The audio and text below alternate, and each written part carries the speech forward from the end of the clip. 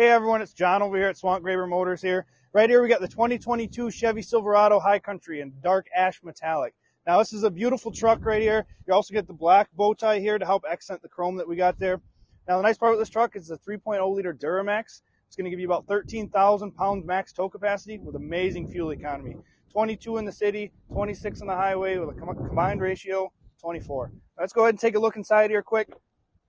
This truck right here, you're going to get all premium leather, powered seats. They're going to be heated and cooled, also heated steering wheel. It's also going to be a heads up display. Beautiful truck. Let's go ahead and let's talk about some of these other features here. You're also going to get these 22 inch wheels. Also don't come standard on a truck. Right here, you also get this nice step. Pretty convenient when you're trying to get into the back of the truck. Also with this, you're going to get a power tailgate. Just a push of a button, it comes down all by itself. Then when you want it to go back up and you're all done, push a button, goes all back, goes right back up. Now, if something you're interested in, come on down here and see us or give us a call, 715-537-5657.